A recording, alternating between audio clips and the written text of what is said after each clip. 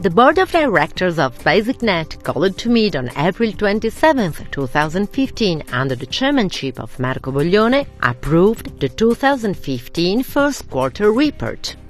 Aggregate sales of group products by licensees globally grew up to 135.4 million euros with a significant development of Superga and K-Way sales, respectively up 67% and 33%. Kappa and Robe di Kappa sales grew up 10%. All regions report improved sales.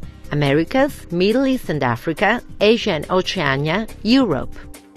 Sales of the Italian licensing company BasicItalia and its subsidiaries amounted to 38.8 million euros. Royalties and sourcing commissions grew up to 16.2 million euros.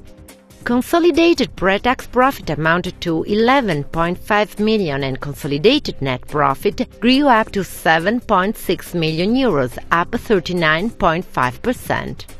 Net debt further reduced to 42.9 million euros.